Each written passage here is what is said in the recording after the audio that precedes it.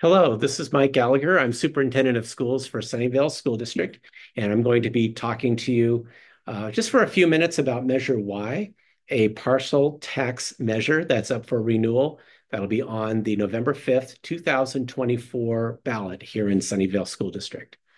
So first of all, what is a parcel tax? A parcel tax is a form of tax that's placed um, or assessed on every property within um, a certain jurisdiction, in this case, within the Sunnyvale School District.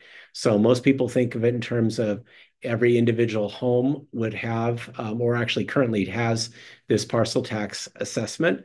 Um, apartment complexes might sit on one parcel, they might sit on one more than one parcel, um, but every parcel that's identified by the county assessor um, is currently in the in the Sunnyvale School District assessed at $59 per parcel tax. And what this measure would do would be to continue that tax past the expiration of the current parcel tax, which is set to expire in June. So this would extend it for another eight years, beginning in June 2025 and continuing until June 2033. So an eight-year renewal. Um, the parcel tax as it's currently devised and um, what we, uh, the Board of Education has designed for it to continue, supports classroom programs, keeps class sizes as small as possible. Um, it's designed to attract and retain quality teachers and uh, as it says in the bottom bullet there, it's the same $59 per parcel rate um, as uh, the first parcel tax in the school district in 2011. We've done one renewal since then.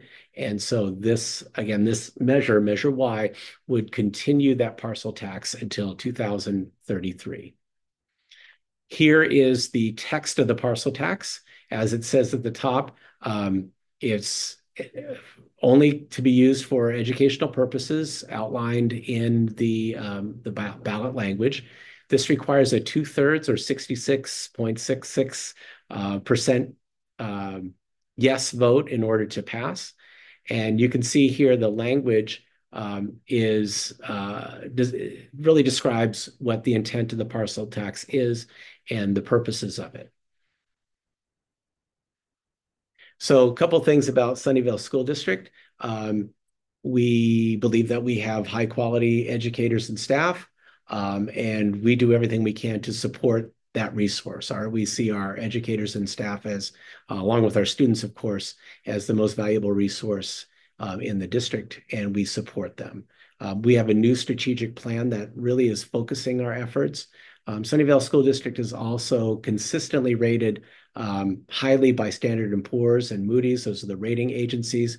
We have the highest um, rating available by those agencies of AAA, and our community has a long history of supporting our schools in Sunnyvale School District. Um, also, this slide shows you that over the years and over time, um, we have many local agencies, local nonprofits, and universities that have supported our schools in many other ways, and the parcel tax is another way um, that historically the community has supported Sunnyvale School District schools. So a little bit about the state budget sta status, um, where we are in time right now. So you may have read about or heard about um, as we moved through COVID, there was a lot of one-time money designed for one-time purposes. And like other districts, Sunnyvale School District invested um, those dollars for intervention support and services for, for students, um, and for a variety of ways of helping students, um, first of all, get through the pandemic and then to recover um, and help us recover from the pandemic. All those dollars are just about spent and they will be completely spent in the very near future. Um, also, transitional kindergarten is a new program that the state has mandated um, and that we've done a very good job, I think, in my opinion, of implementing in Sunnyvale School District. Um, but the state hasn't provided any funding at all, no dollars at all for Sunnyvale School District for transitional kindergarten. So that's an in increased expense. And then also the growth of local revenue, which is how Sunnyvale School District is financed, um, through the through property taxes is really slowing. So that's the the budget picture for Sunnyvale School District um, currently. As you can see, this chart shows um, all the school districts in our county that have parcel taxes. Um, the highest is Palo Alto School District at $905 per parcel. And the lowest of the districts that have parcel taxes is Sunnyvale School District at $59 per parcel. So you can just kind of see here um, the range. There is a broad range. There are some districts that don't have parcel taxes. We've been fortunate um, since 2011 to have one, but we have um, been among the lowest and at this point in time, the lowest uh, parcel tax in the county. Um, so some people would ask, like, why why is the district going out now? Like, one real reason for that is that the parcel tax is set to expire in June 2025, so next June. Um, so this is the um, actually the least expensive time to put it on the ballot. School districts, when they place a measure like this on the ballot, they actually have to pay for um, to place it on the ballot. So since there's so many other um, things on the ballot this November. It's going to be a very busy ballot. Um, it's more efficient. Um, so basically, that's the main reason. The, the two main reasons. One, where our current parcel tax is set to expire, so it's time to see if the community wants to continue to support the schools through a parcel tax. And number two, it's the most cost-effective way um, or cost-effective time to do it is in a November election. So finally, uh, just some summary about the November 5th election. Um, again, we need a two-thirds voter approval for passage of the parcel tax. Uh, the parcel tax exempts those who are at least 65 years old or who are disabled who own and reside in their own homes, so they can get an exemption.